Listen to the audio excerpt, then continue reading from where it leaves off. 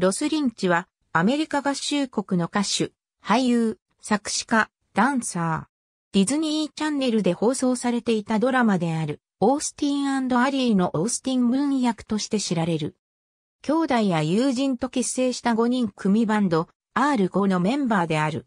R5 という名称は、メンバーのファーストネームの頭文字が全員 R であることから来ている。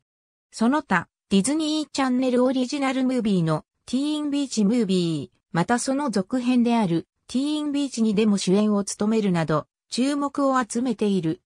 2015年5月には、ニューヨークにあるマダムタッソー館に、老人形が展示された。ロスリンチは、コロラド州リトルトンに5人兄弟の三男として生まれる。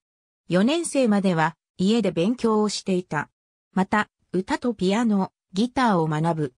2007年に家族と共にカリフォルニア州ロサンゼルスに移住し、兄、ライカーにエンターテイメントの夢を追うことを許してもらう。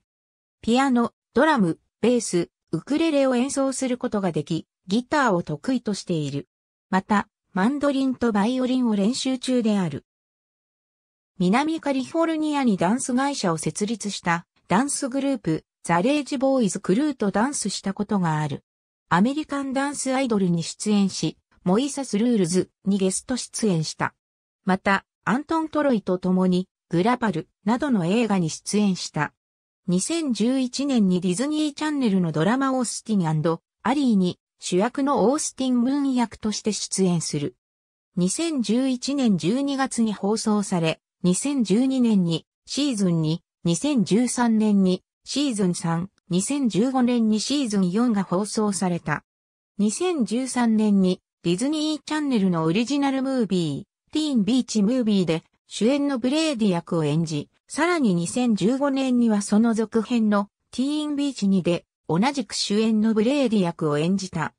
ロスは R5 のギター兼メインボーカルとして活躍している。グループは3人の兄弟と彼らの友人のエリントン・ラトリフで構成されている。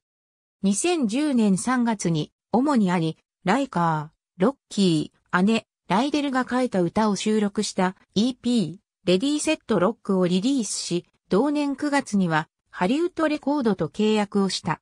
さらに2013年秋にはアルバムラウダーをリリースし、2015年7月10日に世界同時発売であるセカンドアルバムサムタイムラストナイトをリリースした。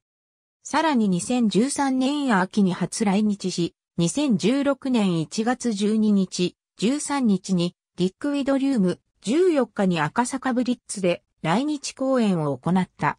さらに、2016年8月に来日、サマソニに出演。ありがとうございます。